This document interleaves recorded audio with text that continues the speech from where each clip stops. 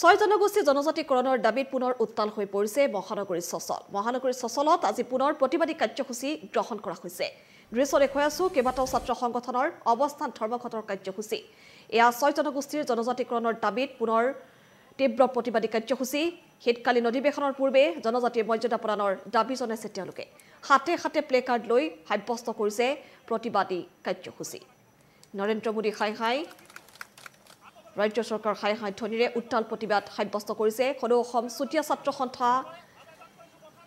কেইবাটাও দল সংগঠনে এয়া প্ৰতিবাদী কাৰ্যসূচীত অংশগ্ৰহণ কৰিছে। এয়া মহানগৰীৰ চচলৰ দৃশ্য দৰ্শক দেখুৱাইছোঁ অসমৰ ছটাকৈ জনগোষ্ঠী জনজাতিকৰণৰ নামত কেন্দ্ৰ আৰু ৰাজ্য চৰকাৰে চূড়ান্ত প্ৰতাৰণা কৰিছে। যে আমি কোনো কাৰণতে এই প্ৰতাৰণা সহ্য নকৰি স্পষ্টভাৱে আমি আজি প্ৰতিবাদ চলি পৰা অসম চৰকাৰ আৰু কেন্দ্ৰ চৰকাৰক আমি সকীয়াই দিছোঁ।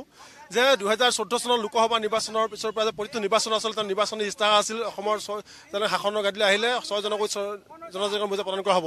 কিন্তু তেওঁলোকৰ নিৰ্বাচন আগত এটা কথা নিৰ্বাচনৰ পিছত এটা কথা আমি দেখা পোৱা গৈছে যে আমি ছয় জনগোষ্ঠী ৰাইজে আচলতে প্ৰতিবাৰ প্ৰতি নিৰ্বাচনৰ নিৰ্বাচন ললিপপ কোৱা হয় আৰু এইবাৰ কোনো কাৰণতে ছয় জনগোষ্ঠী ৰাইজে নিৰ্বাচন ললিপপ দেখাৰ স্পষ্ট কথা যে আমি যিকোনো পৰ্যায়ত যাবৰ কাৰণে অসমৰ এই ছয় জনগোষ্ঠীৰ বিভিন্ন সংগঠনৰ যৌথ উদ্যোগত আমি এই গুৱাহাটী চচলত আমি অৱস্থান নামৰ কাৰ্য ৰূপায়ণ কৰা হৈছে। আৰু এই কাৰ্যসূচীৰ পৰা অসমৰ মুখ্যমন্ত্ৰী আৰু ভাৰতবৰ্ষৰ প্ৰধানমন্ত্ৰী আমি এই সকীয়াই দিছোঁ যে শীঘ্ৰে এই ছটা জনগোষ্ঠীক জনজাতি মৰ্যাদা প্ৰদান কৰিব লাগে যে আগন্তুক লোক শীতকালীন অধিৱেশনত আচলতে এই ছটা জনগোষ্ঠীৰ বিল উত্থাপন হ'ব লাগে।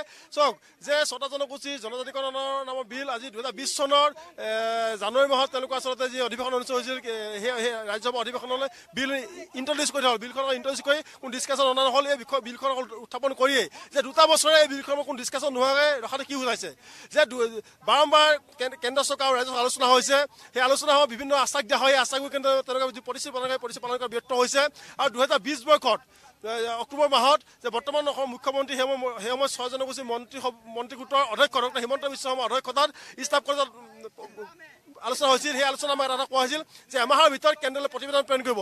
যে আজি তাৰিখলৈকে সকলো দক্ষ বুলি কোৱা মুখ্যমন্ত্ৰী ডক্টৰ হিমন্ত বিশ্ব শৰ্মাৰ দক্ষতাটো যে প্ৰশ্নপত্ৰ চিনাইছে যে তেওঁ দুবছৰ দুমাহ হোৱাৰ পিছতো যে আজি তাৰিখলৈকে তেওঁ ছয় জনগোষ্ঠীৰ এই মন্ত্ৰী গোটৰ প্ৰতিবেদন কিয় দাখিল কৰিব নোৱাৰিলে।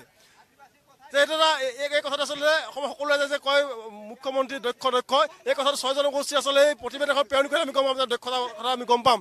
যে আমি আজি প্ৰতিবাদ চলি পৰা অসম মুখ্যমন্ত্ৰী স্পষ্টভাৱে কৈছোঁ যে এমাহৰ ভিতৰত ছয় জনগোষ্ঠী তেওঁ প্ৰতিবেদন কেন্দ্ৰলৈ প্ৰেৰণ কৰিব লাগিব। ইয়াৰ অন্যথা কিন্তু ভয়াৱহ পৰিস্থিতিৰ সন্মুখীন হ'ব যে আজি আমি দুটা এই প্ৰতিবেদন পিছত যে আমি দুই বজাত আমি চিলাই ভৱনত ছয় জনগোষ্ঠী বিভিন্ন সংগঠন আমি চাওক বিগত দুটাকৈ লোকসভা নিৰ্বাচন আৰু দুটাকৈ অসম বিধানসভা নিৰ্বাচনত বিজেপি দলটোৱে ছয় জনগোষ্ঠীয় ৰাইজক প্ৰতিশ্ৰুতি দিছিল যে তেখেতসকলে যদি শাসনলৈ আহে তেখেতসকলে অতি শীঘ্ৰে ছয় জনগোষ্ঠীক জনজাতিকৰণ কৰিব।